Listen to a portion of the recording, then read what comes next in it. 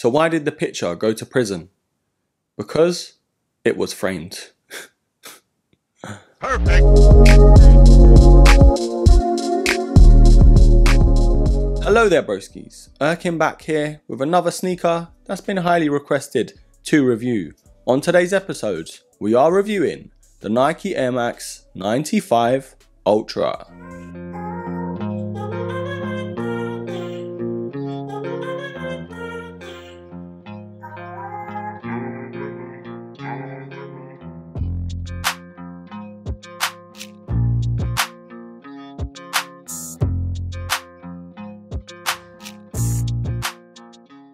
So the Air Max 95, it's one of the GOATs, one of the best Air Max ever made, in my opinion. My daily beater for work is the all black Air Max 95 and I can't seem to switch it out. Because I've broken them in, they are pretty comfortable for me at the moment. It wasn't always the case, but right now, they're pretty decent. And of course, I just love how they look. They're very subtle, but they've got that bad boy look to them as well. And in today's video as well, I'm going to show some slight differences between the two because I know a lot of people have been asking me. And to be fair, this is my first Air Max 95 Ultra. So I do hope this video clears up some of those questions. Now the 95 Ultra is what you would get if you put the OG 95 on SlimFast and literally it looks just like that. If it went to Weight Watchers for a few months, you'd get this. Not only is it sleeker, it's a bit more narrow, it's a bit lighter as well, and they've switched up some of the panels. And whether that's a good thing or not, you'll just have to wait to find out. And don't forget, I will leave some purchase links down below for this particular pair where I can too.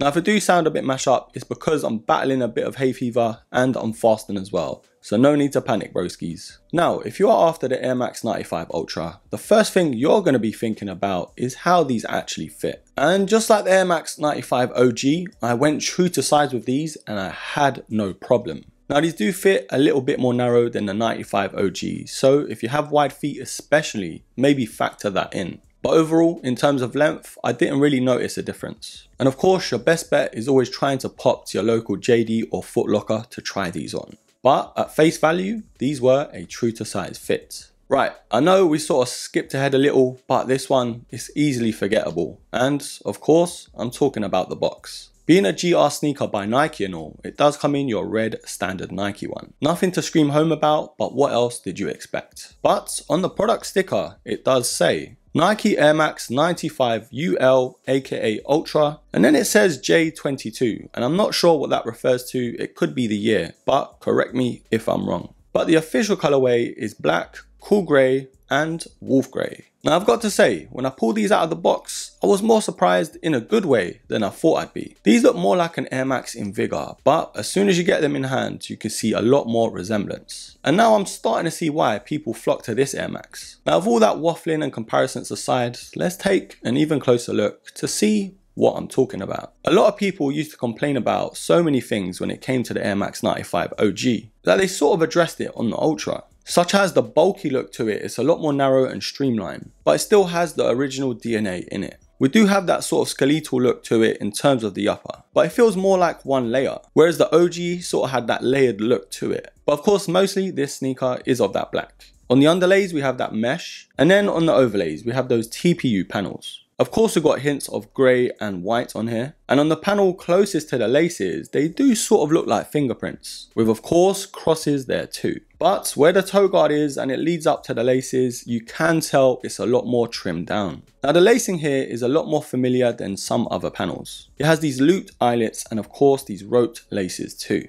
But one thing that they have done, which I really like about this shoe, is the holographic panel going up the tongue. Now I didn't notice it straight away, I thought it might have been 3M or just a normal plastic TPU panel. But turns out if you move it left and right, it does actually change. It has hints of the Nike with the Nike swoosh on there and then Air Max as well. Now the tongue in itself does feel like cotton mesh and then they've switched up the Air Max fonts on that tongue tab. And you know what? I'm not really mad at that. Now we have this black cotton sock liner and the insole is black too with this dark grey Nike Air branding on the insole. Now at the back of the heel counter, again we've got that same holographic panel there. And I'm so glad they did this. And then just on the lateral side to it, we have that grey Nike swoosh. Now the midsole here does seem a lot more trimmed down, especially underneath, but at the same time, it is recognizable. The air unit at the back is a lot more visible compared to the normal OG 95. And even at the forefoot, the air units do look more visible. But it is of course all blacked out here. And then the outsole is another thing where they've switched it up. And to be fair, in my opinion, I don't know if I like it that much. But we sort of have that remix to the waffle panels towards the forefoot. And then we have the Nike Air Max branding in the middle, with another difference towards the back.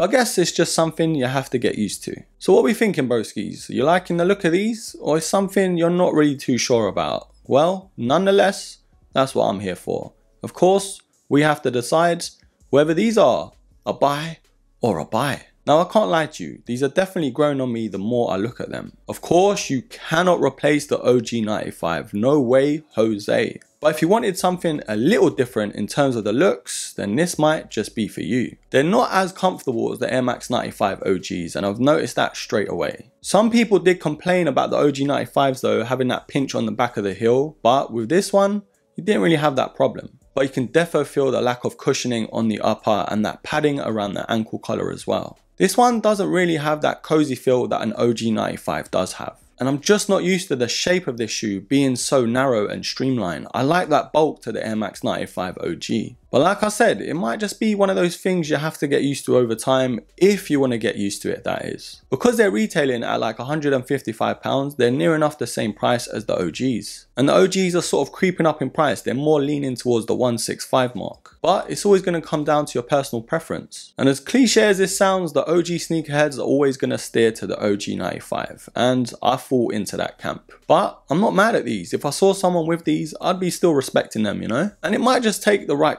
colorway to sway me over, but I'm always gonna steer to the OG 95. I just love that sneaker. Is that my second or third favorite Air Max of all time, so it's gonna be hard to beat. And I know they tried to fix a lot of the things people didn't like about the OG, such as how bulky they looked and maybe the outdated look as well. But for me, the OG 95 is just a timeless classic. But that doesn't take nothing away from this sneaker. It's still one of those shoes I'd still look at and think, hmm, maybe one day. And I'm still going to recommend these broskies. Overall, the Air Max 95 Ultra is going to get an absolute buy.